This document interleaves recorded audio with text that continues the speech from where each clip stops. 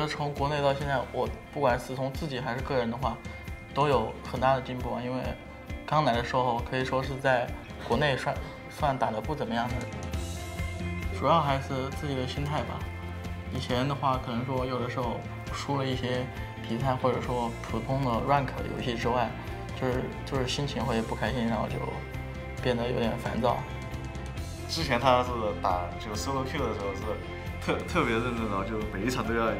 之前是会就嘴上会一直不停的哔哔不停的说的，不管在输还是赢的话，都心态会比较好。还没有来到美国的时候，我们以前就经常听说过 TSM，然后 CLG 这些战队的名字。还没有打职业的时候，就经常能听到这些战队，觉得他们就特别厉害，听说在北美这边。然后过来之后，能跟他们交手，还是感觉到比较荣幸的。我跟比尔闪还有微博，就是在线下也是很好的朋友，我们什么都会聊，大部分都都是关于一些游戏的事情。talking to Joey Joe is always interesting because sometimes we don't we don't get what the other person's saying half the time, and then we just like we, we realize it and we just start laughing.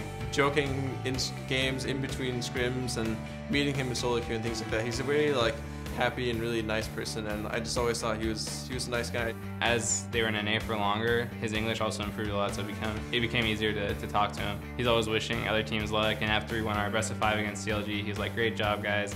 by now, like we're really good friends, and I hope that we both can go to Worlds. 我上一周是以一个以一个观众的身份去台下看他们打比赛。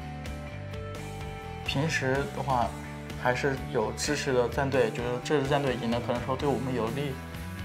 上次是一个观众的身份去，我觉得只只是希望看到精彩的比赛，不管说谁赢谁输，我都会只要有精彩的镜头，都会跟着其他观众一起欢呼什么。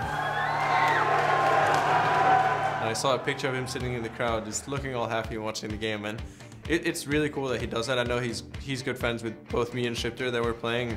He calls us both the dog in Chinese. Everyone here in NA is just really respecting of of LMQ and feel like they're really integrated as an NA team. If they get to Worlds, they're going to be representing everyone in North America on the big stage and trying to make us proud. 从过来之后，就一直在尽力去融入到北美，去学习这边的文化，然后去学习英文。去更好的与粉丝交流跟互动，然后我们也快在很努力的去融入到这边的生活中，然后 如果能代表 S 四 S 四能代表北美去出战的话，还是比较开心的。